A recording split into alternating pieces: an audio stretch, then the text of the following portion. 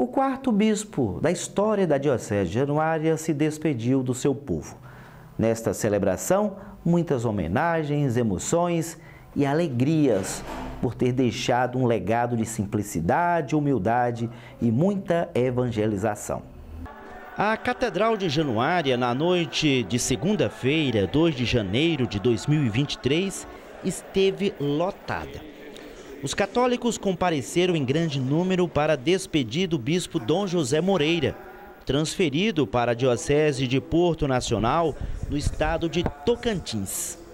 E é uma outra missão, é uma missão da igreja, a missão. Eu não estou indo embora, estou indo para uma missão. Me enviaram, não foi o que pedi, não pedi para vir para cá, nem pedi para sair, mas a igreja pediu, e aí é uma missão. Então, o que eu pude fazer, eu fiz.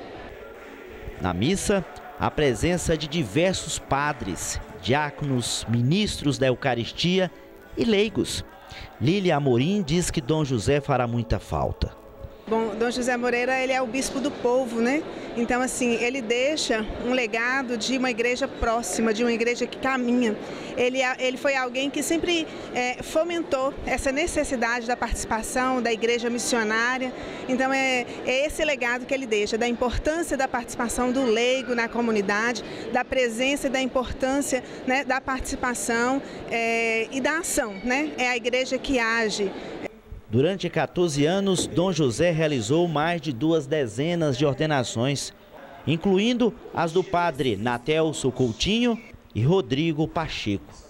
É, quando Dom José chegou aqui, eu era seminarista, eu estava finalizando os meus estudos na filosofia e passei todo o período da teologia, fui ordenado por ele, diácono, ordenado padre, e estive aqui na catedral por aproximadamente oito anos. Então foi um período em que eu aprendi muito com ele. Na verdade, com Dom José, nós aprendemos o exercício do nosso ministério presbiteral, né? o nosso ministério sacerdotal. Então a gente tem muita gratidão para com ele, a gente todos nós fomos pegos de surpresa com a transferência dele, né? Pensávamos que ele ia aposentar aqui, né?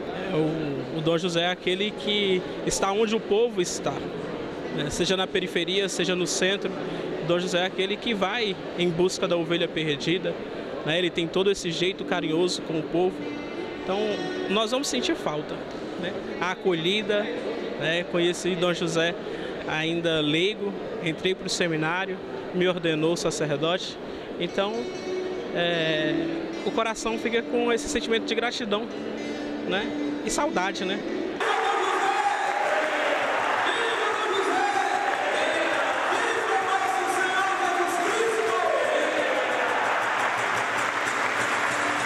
E Dom José chorou.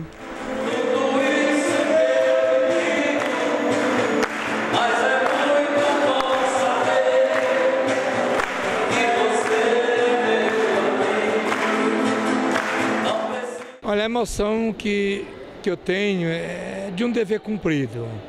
Eu não fui omisso, dentro das minhas limitações, dentro eu sou limitado, mas graças a Deus eu cumpri minha missão.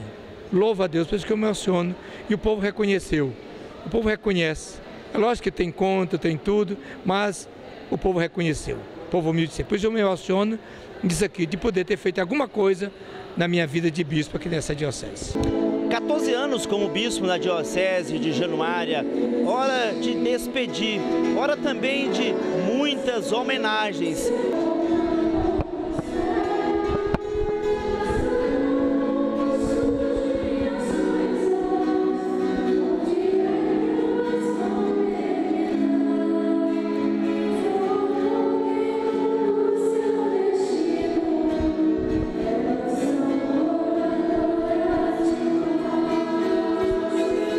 Samuel, secretário regional da Caritas Minas Gerais, veio despedir do bispo e agradecer. Mais de seis anos de acompanhamento de Dom José, o regional de Caritas Minas Gerais e de Caritas do Brasil. Uma presença sempre firme, sempre amorosa, sempre carinhosa, sempre aconselhadora, para que a gente permaneça no caminho, no caminho do Evangelho e no caminho daqueles e daquelas que mais precisam. Então, um grande agradecimento da Caritas Brasileira, por todo esse serviço que Dom José desempenhou junto à Caritas, que ele vai continuar também lá no Regional de Caritas da região norte e da região centro-oeste do Brasil. Maria Fernanda, coroinha por cinco anos na catedral, reconheceu os ensinamentos de Dom José. Quando Dom José chegou, eu tinha quatro anos, então foi uma vivência desde pequena depois que eu entrei nos coroinhas, foi ainda mais profundo, né? Então eu só tenho que agradecer, tenho muita gratidão por tudo que ele me ensinou nesses anos de coroinha, nesses anos na igreja. Então, é, muitas bênçãos de Deus que ele que ele trouxe para nós, né? E para mim também. A irmã do bispo, Joana, veio a Januária e seguirá com ele para sua nova diocese. Aliás, sua terra natal, Porto Nacional, no estado de Tocantins. Eu vim de Juiz de Fora levar ele. Eu trouxe, a gente trouxe, né? Agora eu vou levar meu irmão. Eu sou de Juiz de Fora, né? Sou de lá não. Mas eu tenho que ir com ele. A missa de despedida foi transmitida ao vivo pela TV Norte, Rádio Voz News 100,9 e pelo YouTube canal Site Alternativa. O bispo agradeceu às emissoras por ter ajudado na evangelização. Olha, eu louvo a Deus, agradeço a Deus pelo meio de comunicação, pela TV Norte e o rádio. Olha aqui essa palavra do rádio, quando eu vou na zona rural, o que eu escuto do povo, que escutou pelo rádio, escutou. Olha, só tenho que louvar a Deus o trabalho de vocês da TV Norte e do rádio aqui de, de Januário, vocês aqui da rádio. Eu louvo a Deus, agradeço a Deus. Só tenho que agradecer, você me ajudar demais. Se não fosse a comunicação, meu Deus do céu, como é que chegava lá? Eu chegava na zona rural, na periferia da cidade, a TV Norte, a rádio. Olha, só tenho que louvar a Deus. Já, a gente já sente essa saudade.